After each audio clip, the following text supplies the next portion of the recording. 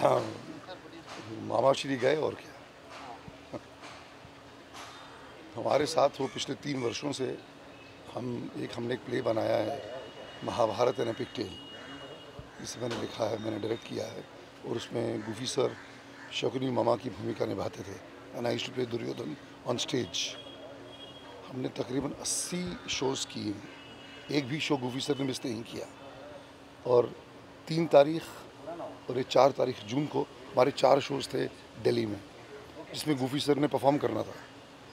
तो कुछ दस बारह दिन पहले उनका फ़ोन आता कि, पुनीत, मेरी थोड़ी तबीयत ठीक नहीं है और मैं आके ये करना चाहूँगा। मैं गुफी सर, आप आप ही करेंगे? शकुनी माओ तो आप ही हैं। फिर मुझे पता चला कि ये कोमा में चले गए। एक तारीख जाने से पहले मिलने गया। लास्ट तक कि मैं ये शो करूँगा। तो कहता इससे मतलब जो काम करने का जज्बा, जो काम करने की झील गुफी सर में थी, वो काबिल तारीफ़। देन वॉज़ इन मैं फिर चला गया था। हम शो करके, हर शो में इनको मिस करते थे। अब एटी फोर शोज़ हो चुके हैं, उन चार, इन, ये पहली बार इन चार शोज़ में गुफी सर हमारे पास नहीं थे। क्या बोले? दैट्स लाइफ यादगार पल, यार हर पल उनके साथ यादगार था। अ वेरी गुड पोएट बढ़िया लिखते थे।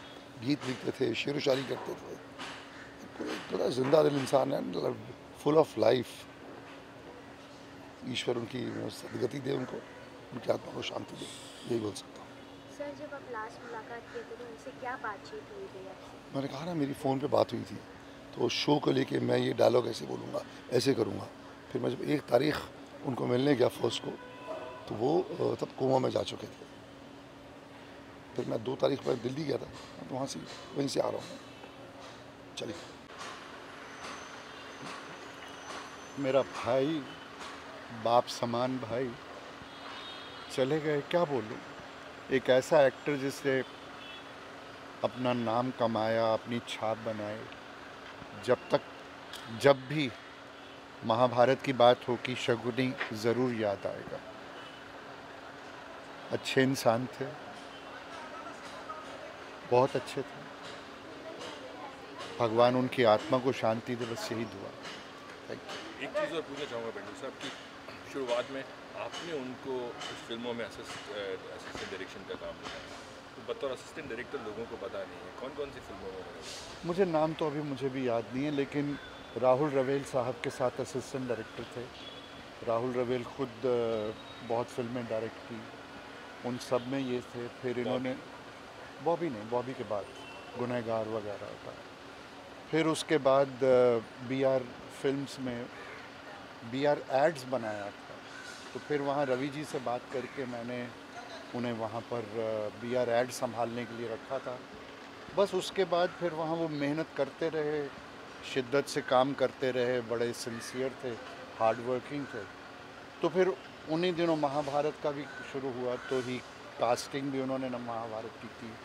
डायरेक्शन भी करते थे काफ़ी सीरियल्स किए ऐड किए ऐड भी डायरेक्ट करते थे बस वहाँ से उनका ज़िंदगी का सफल दौर शुरू हुआ thank you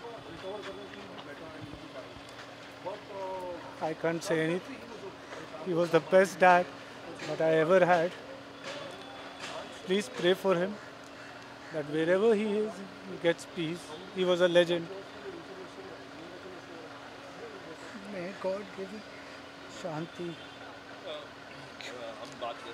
Actually क्या हुआ, उनको कुछ हार्ट के इश्यूज़ थोड़े टाइम से चल रहे थे। और थोड़ा बेटर हुए, थोड़े बीपी ड्रॉप करने लगे, थोड़ा किडनी के इशू होने लग गए। तो हम लोग घबरा के ऑब्वियसली हम उनको हॉस्पिटल लेके गए। एंड वहाँ पे रखा अंडर ऑब्जर्वेशन तो थोड़ा सा ठीक थे। फिर धीरे धीरे थोड़ा सा डिटीरियोरेट बीच में ही बिकेम लिटिल क्रिटिकल तो हम लोग भी घबरा गए कि यू नो सडनली ये क्या हुआ। फिर फिर से ठीक हो गए। कल भी बहुत बातें की उन्होंने। इनफैक्ट आज सुबह भी उठ के उन्होंने थोड़ी सी बातें बातें की। इनिशियल मैं भी सोने जा रहा हूँ। और वो सोए एंड आई थिंक उनके हार्ट ने गिव अप कर दिया। Because heart was functioning less heart इतना पंप नहीं कर रहा था।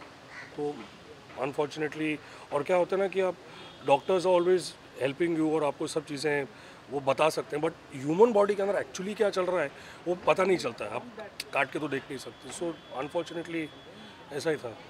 सर उनके साथ कुछ मेमोरेबल जो आपने अरे बहुत सारे बहुत सारे बहुत सारे। आपका फेवरेट हो सबसे ज़्यादा स्पेशल बहुत सारे हमारा तो पूरा बचपन साथ में रहा है। पहले तो हम जॉइंट फैमिली में रहते थे।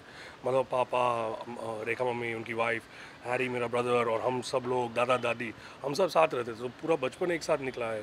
फिर एज वी ग्रू ओल्डर हम रोज़ मिलते थे। हमारा रोज़ आना जाना उठना बैठना होता था अभी रिसेंटली उन्होंने महाभारत का एक प्ले किया था पुनीत अंकल के साथ। एंड वो प्ले हमने देखा। हम सब गए थे देखने and it was a wonderful performance बहुत मज़ा आया। अभी दिसंबर में मेरे घर पे आए थे तो क्रिसमस टाइम में हमने बहुत चिल किया। हम साथ में बैठे थे खाना वाना खाया। तो मतलब हम रेगुलर इन टच रहते थे मतलब साथ में ही रहते थे एक ही फैमिली है।